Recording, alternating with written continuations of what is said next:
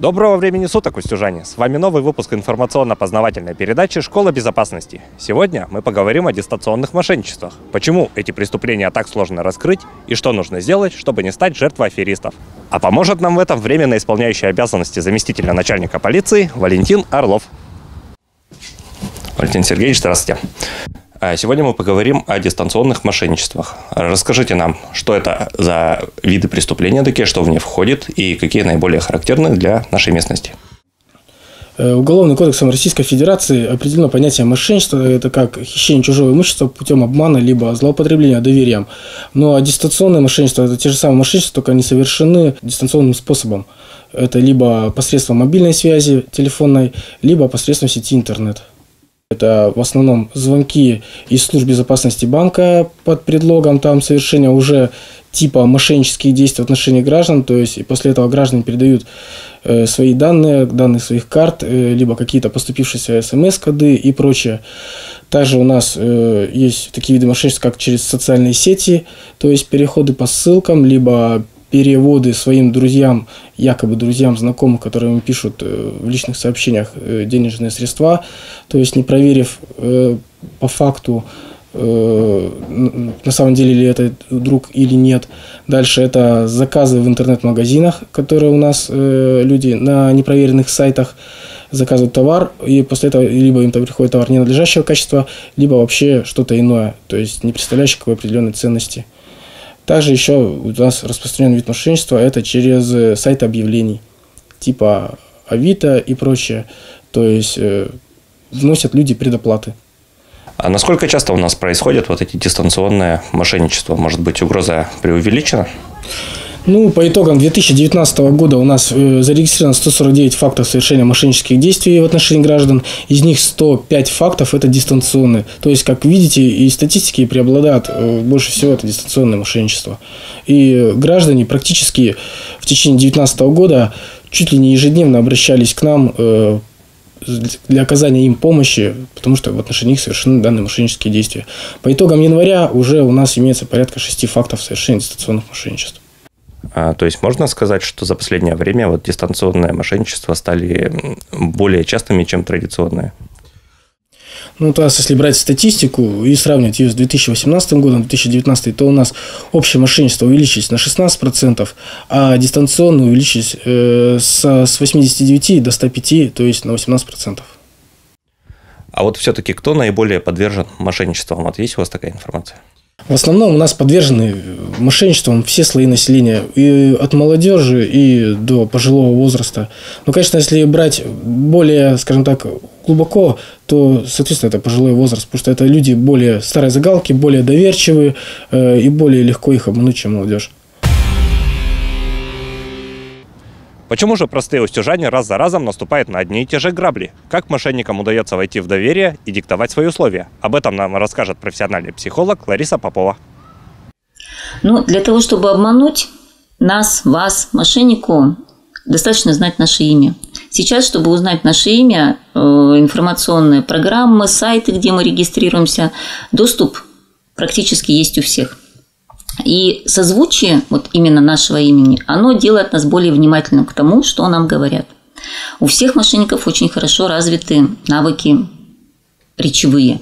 Эти люди знают, что речью можно пользоваться, да, а так же эффективно, как и языком тела. Следующее. Мошенники всегда устанавливают четкий лимит на время. Да? То есть акция ограничена. Да? Завтра цена будет уже совсем другая. Да? Для чего это нужно? Для того, чтобы убедить своих жертв действовать как? Быстро, чтобы у нас не было времени посоветоваться с нашими близкими, родственниками, знакомыми и так далее. А как известно, когда наступает ситуация цейнота, то вот это вот рациональное мышление, э, самоконтроль, они всегда отходят на второй план.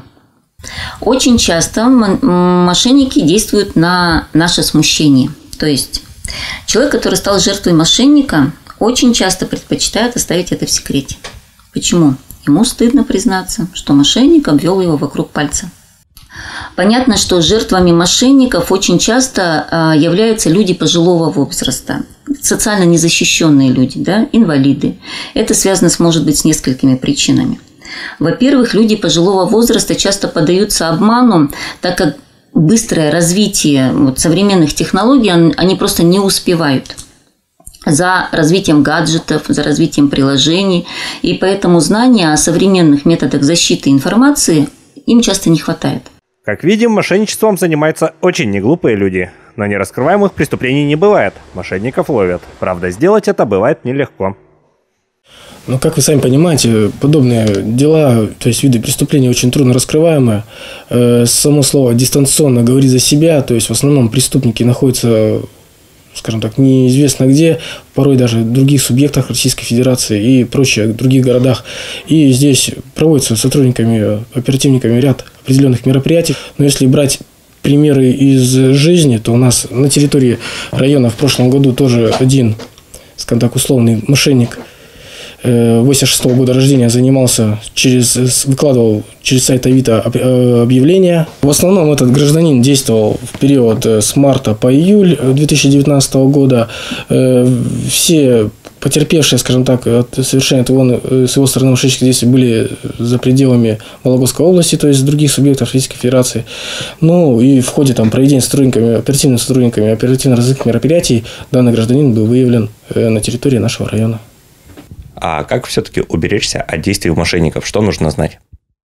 Здесь есть определенные правила, то есть э, гражданам хотелось бы сказать, чтобы они никогда и никому, ни под каким предлогом не сообщали свои коды, э, которые приходят им через смс-сообщения э, с данных там, мобильных банков, которые у них есть, либо не передавали данные своих карт, э, номер карты, э, код с обратной стороны этой карты и прочие там даты э, окончания срока этой карты. Ну, все вот эти данные, чтобы не передавали ни в коем случае никому.